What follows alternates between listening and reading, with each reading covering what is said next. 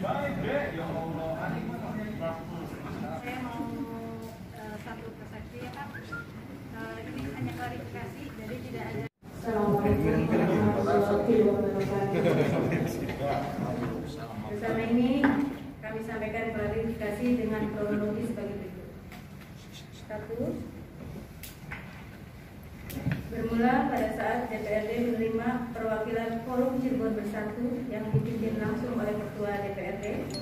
Dialog berlangsung terkait penolakan haluan ideologi Pancasila yang selanjutnya aspirasi itu ditanggapi oleh DPRD sehingga pimpinan DPRD memberikan kesempatan kepada Wakil Ketua DPRD eh, Ibu Fitria Pamukaswati dari fraksi PDIP yang menawarkan agar semua semua hadir semua yang hadir berikrar dengan naskah yang sudah disiapkan.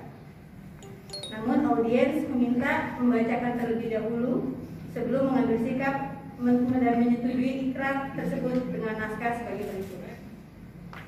Bismillahirrahmanirrahim. Demi Allah kami bersumpah akan setia kepada negara kesatuan Republik Indonesia yang berlandaskan Pancasila dan Undang-Undang Dasar 1945.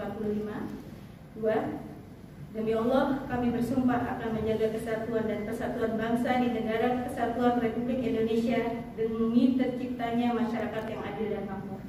Tiga, demi Allah, kami bersumpah akan menjaga negara kesatuan Republik Indonesia dari pengaruh paham komunisme, liberalisme, leninisme, sekularisme, dan khilafah.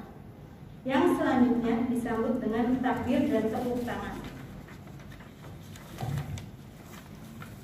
Pada saat Ibu Fitria membacakan draft naskah ikrar bersama yang ketiga, yakni Demi Allah, kami bersumpah akan menjaga negara kesatuan Republik Indonesia dari pengaruh paham komunisme, liberalisme, leninisme, sekularisme, dan khilafah.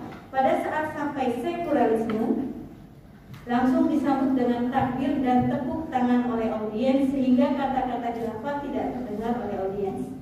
Kemudian pada saat saya yang memimpin membacakan ikrar tersebut sebagaimana permintaan audiens, begitu jatuh pada poin ketiga dalam naskah hanya terdapat kata komunisme dan khilafah dan di bawahnya terdapat tambahan berupa tulisan yakni liberalisme, leninisme, dan sekularisme.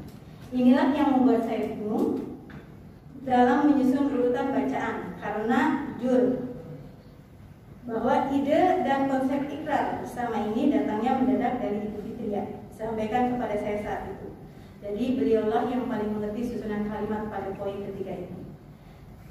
Terhadap hal-hal sebagaimana tersebut di atas, saya atas nama pimpinan dan lembaga DPRD menyampaikan permohonan maaf atas kehilafan pada saat itu pada saat penerimaan aspirasi Forum Cirebon Bersatu pada hari Senin tanggal 6 Juli 2020 dan kami memastikan bahwa kami tetap setia pada Pancasila dan Undang-Undang Dasar 1945 sebagai ideologi bangsa Indonesia serta menolak paham komunisme dan dilapa liberalisme, leninisme, dan sekularisme. Assalamualaikum warahmatullahi wabarakatuh. Wah, jawab di sini. ada di sini. Draft yang dibacakan kemarin itu dari siapa? salah, nanti salah ini lagi. Nanti barangkali salah persepsi. Ada ada nanti. Minta itunya. Bagikan ke aja. Bagian ke teman-teman saya bagiin. apa, mengagendakan